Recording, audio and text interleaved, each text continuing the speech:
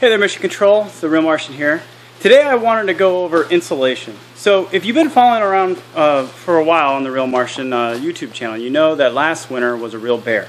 If you're brand new to the channel, I'd recommend you go back and check out some of our wintertime postings, some of the initial videos where we talk about heating and all the challenges that we had. Bottom line up front, or the BLUF if you will, uh, the BLUF is we need to have insulation and last year we didn't and it was El Bado. So this year we're going to spend some time actually getting insulation in before the November 11th deadline, which is just a few, few days around the corner, you might say. At least it feels that way. So I wanted to take this opportunity in this video, be pretty quick, and just reintroduce insulation and what we're thinking of right now. So first, you, you, let's get the whole building.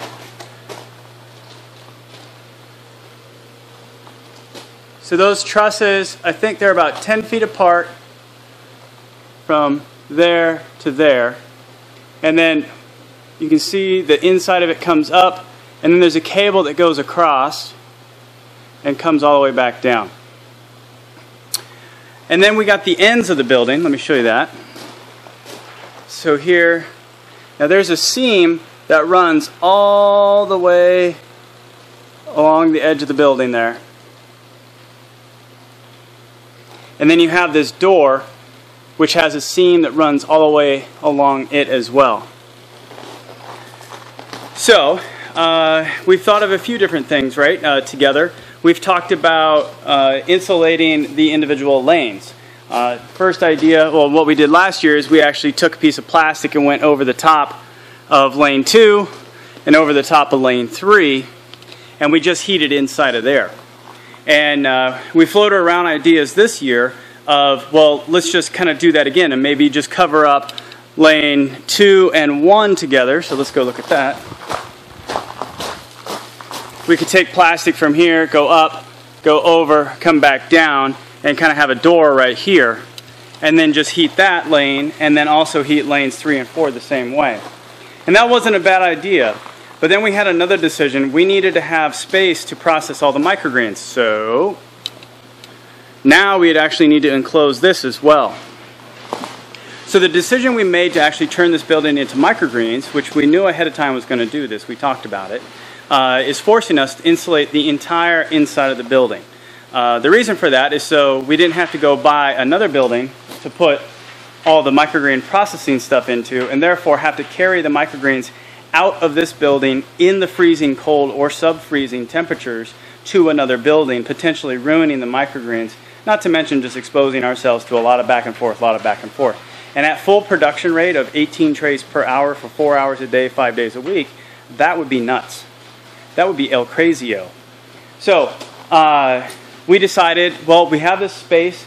Let's use what we have. It may be less than optimum, but we have it, so let's make it work.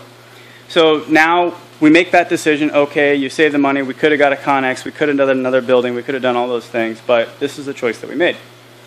So now we have to insulate the entire building. And here are my thoughts so far. Uh, I actually called a supplier that insulates buildings just like this one, and if we were to buy the purpose-made uh, insulation for it, it's roughly $8,000 for this entire building. That's quite a big chunk of change that we don't have. So um, I asked them what the R value was, and it was 7.5 of that insulation. And when I looked up uh, doubled layer plastic with uh, air blowing in between them, it was roughly about the same R value if I got my numbers correct. So I could spend $8,000 for purpose-made insulation or we could find a way to create dead airspace in here. So I'm going to start with the easy part. At each end of the building, there's the far end, there's that one.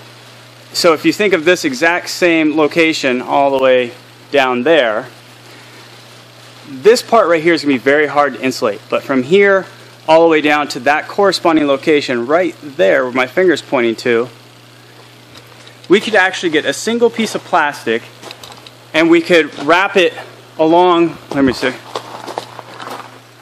We can get that plastic, I think, and get it to go back here and clamp it on getting some C clamps uh, that they make for this. This is inch and a half, I believe.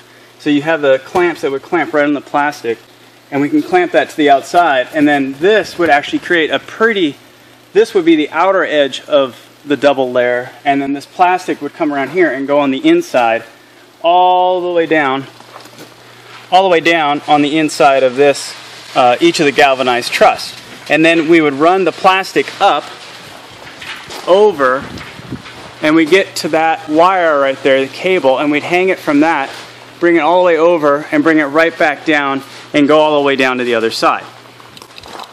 So if we did that, and I'm walking down to the other side so you can see what I'm talking about, make more sense here. If we did that, essentially 90% of the entire building uh, would be insulated, and then we just put an air pump on there, and it's all open inside, uh, so we could actually uh, move the air in, and that's going to be quite a bit of insulation. In addition, we want to do 10 uh, foot sections of plastic. So we'd have a section of plastic goes from there to there and comes all the way over. And we want to do that because we actually have lighting and electrical and Wi-Fi up top. So if you ever needed to do maintenance, we only want to drop one of those sections to be able to get to where we need to. So 10 foot sections, and that's roughly about 65 feet. I think it's going to be a little bit less if we cheat and go across the uh, cable. Um, but if you were to go around the entire outside of the metal, that's 65 feet according to the manufacturer. So we would run plastic from right there all the way down to the other side and we'd seal that all up and that would give us double layer there. So now the challenge is that we have to find a way to seal the ends.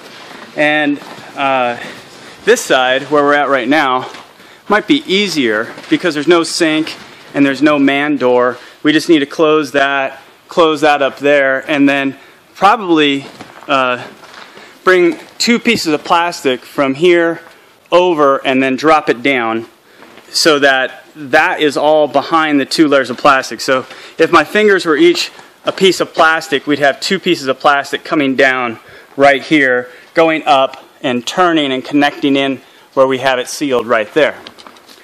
I think that's how we would do it over here.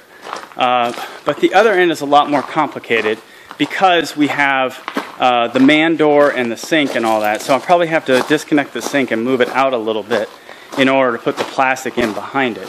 Let me show you here. So we need to cover all that. That door can close all the way and we won't open it during winter time. That will uh, close as well.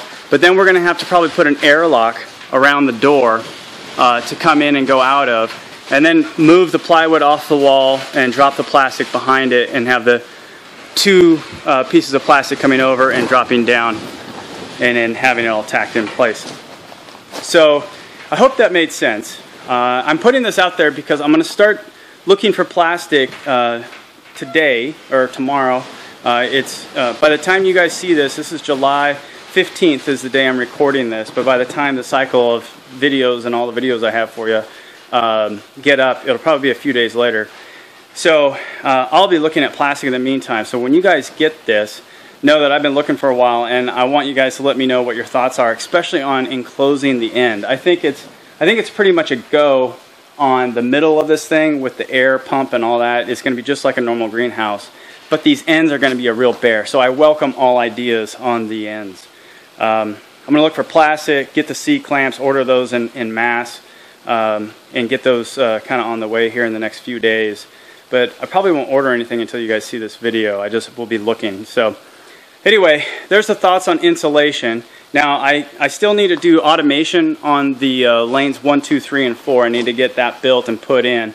Then I can move over to the insulation. I'm hoping within the next few weeks to have everything here. So pretty excited to get the insulation in and then it's on to heating. And I'm going to do another video talking about the heating options that we're looking at.